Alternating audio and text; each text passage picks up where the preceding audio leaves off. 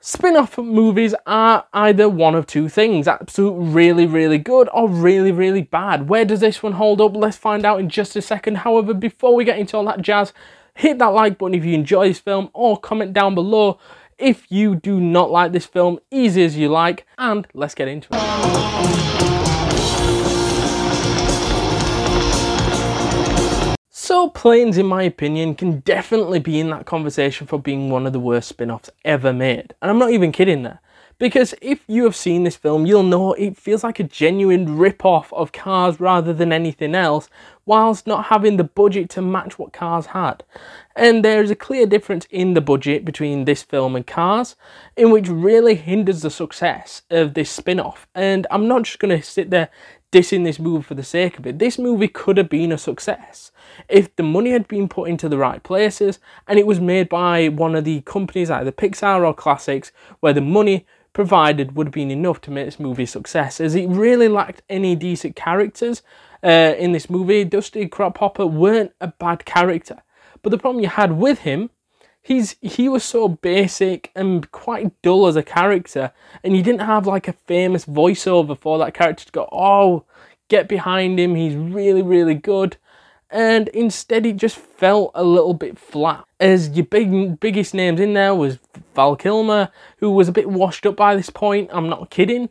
Uh, when i say that i think he was a great actor probably in like the 90s but he at this point is quite washed up and doesn't really do much uh, you've got Stacy Keach, who is obviously the warden in Prison Break, who does a voiceover as well, and he's pretty good at what he does in this film. But at the end of the day, he's not. Yeah, he's not a, an A-list, so you're really lacking that big A-list in there to do a great voiceover. And then you've got John Cleese and John Ratzenberger, which are your sort of like mid-card sort of voiceovers, which could be great if used in the right manner. And I don't think they were. But yeah, that's what I think really lacks in this film.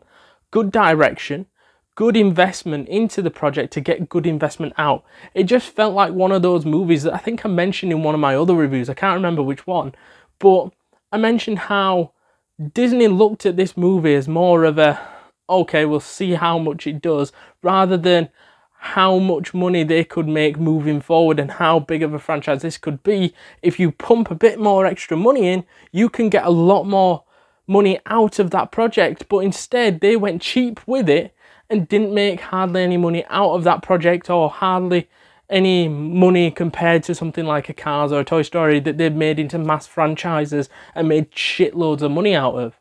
That's what they could have done with this spin-off, but they didn't. They didn't give it enough uh, backing. They didn't take it seriously enough, in which is their own fault.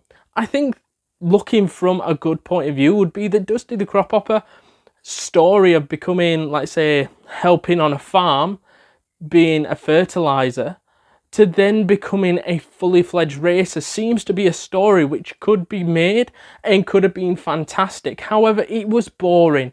It came across quite stale, in which he shouldn't have done. They just didn't make it interesting enough, and it would have been different from Cars because obviously Cars, you've got a new rookie coming through that learns the trades and learns the skills to be what you'd call a fully fledged racer from a veteran.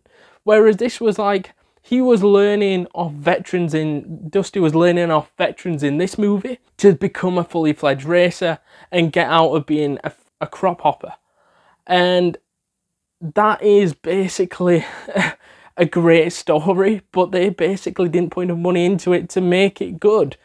I think they managed to bring it back up in the second film, in which I can't wait to talk about the second film because the second film improves, but just not enough to to still talk about the whole franchise as, as, as a main uh, stay, like as in a big Disney franchise. So to summarize Planes, then for me, this is genuinely a really bad spin off and one of the worst animation movies you'll ever see because the backing is just not good enough.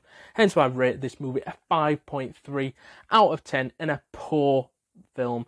Let me know down in the comments down below whether you enjoy this film. Is it bad? Is it good? Is it amazing? Is it terrible? Let us know all that jazz down in the comments down below and hit that like button if you've enjoyed this video, guys. That'd be much appreciated. Hit that subscribe button, hit that notification bell, and I'll see you guys in the next one. Yes.